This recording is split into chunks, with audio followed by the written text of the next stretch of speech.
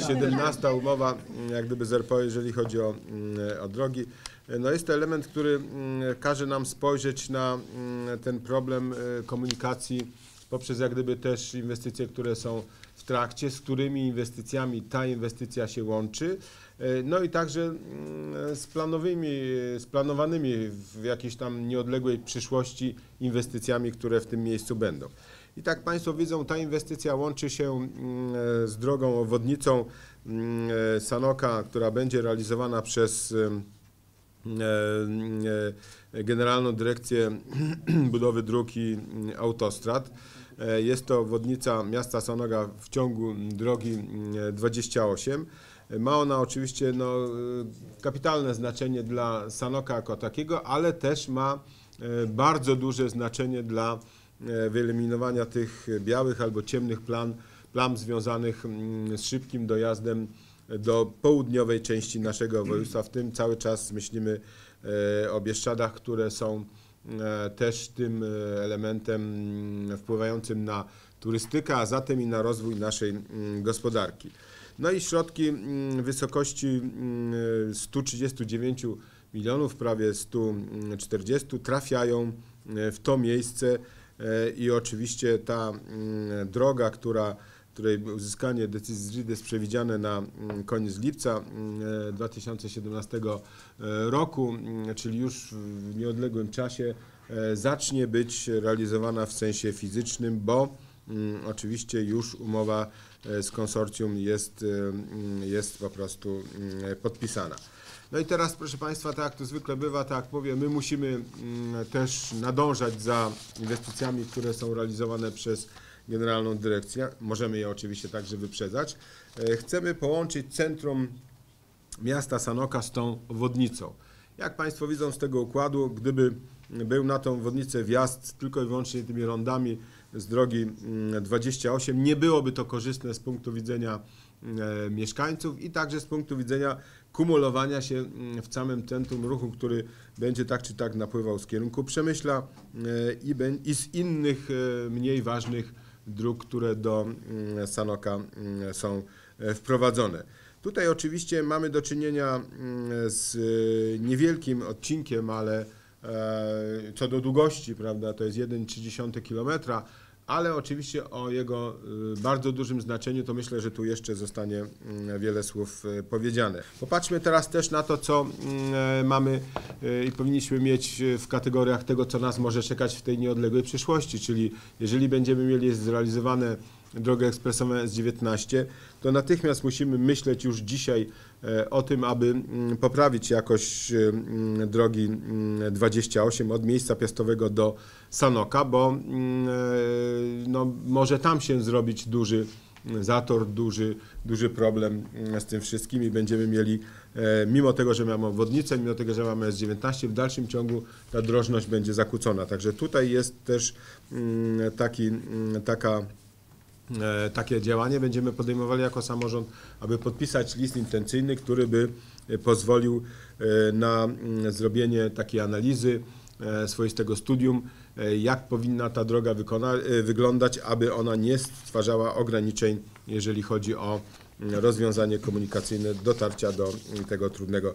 I tutaj możemy popatrzeć na to, mm, że to jest e, e, właśnie i planowana droga klasy 2 i obwodnica Sanoka e, i po prostu nasza droga, e, która jest wewnątrz e, Sanoka, tak powiedzieliśmy e, sobie. Chcemy też e, myśleć o tym, żeby e, podejść do realizacji i modernizacji drogi 835, która prowadzi nas od autostrady mm, A4, czyli przewór z Kańczuga e, aż do Sanoka, prawda, to jest istotna też droga z punktu widzenia mm, kierunku napływu mm, i komunikacji też turystów z województwa lubelskiego i też północnej części naszego, naszego kraju. Wiele osób z tego e, korzysta, także to wpisuje się w ten ciąg e, zadań, działań, które chcemy zrobić e, po kończeniu tych, e, tych inwestycji, które wiążą się e, z bliską, bliskim sąsiedztwem Sanoka. Widzą Państwo też te ciągi komunikacyjne, które tutaj będą poprawiane. Pierwszy to dotyczy właśnie S19, drugi dotyczy właśnie tej drogi 835 na relacji mm, Przeworsk-Sanok.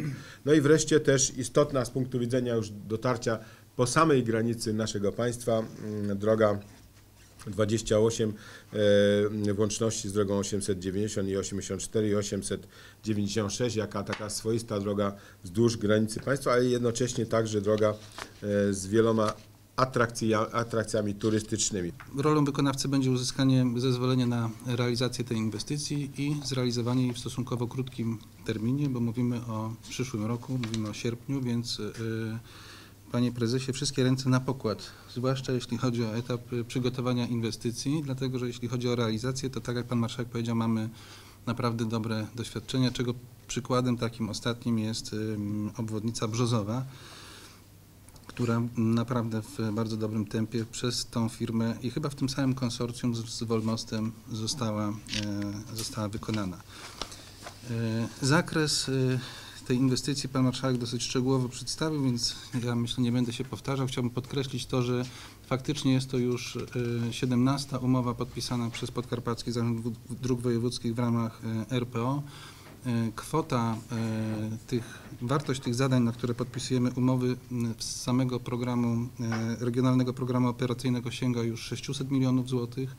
Jeśli do tego dodamy jeszcze e, zadania z Polski Wschodniej, przeszło 100 milionów złotych, to naprawdę są to kwoty e, olbrzymie.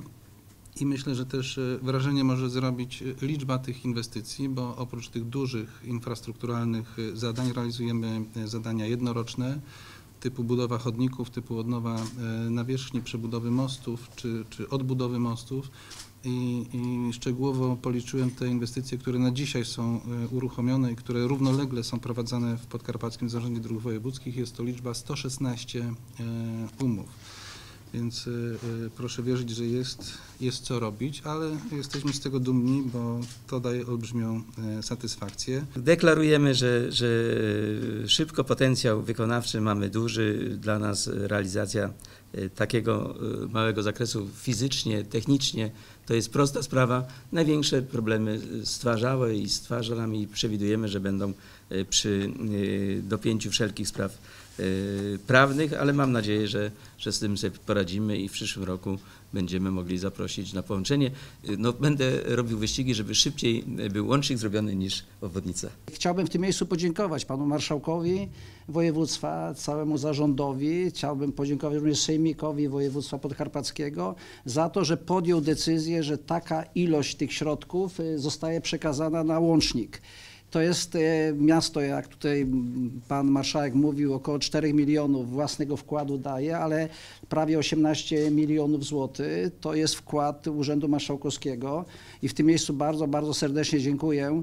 To są pieniądze nie do przecenienia. Gdybyśmy tak naprawdę te pieniądze musieli gdzieś e, szukać we własnym budżecie, to szereg inwestycji, które powstają w tej chwili w Sanoku, tych inwestycji by nie mogło być. Nie mielibyśmy własnych wkładów do różnych projektów unijnych, bo proszę pamiętać, że już jesteśmy na etapie przetargu w ramach Miejskiego Obszaru Funkcjonalnego.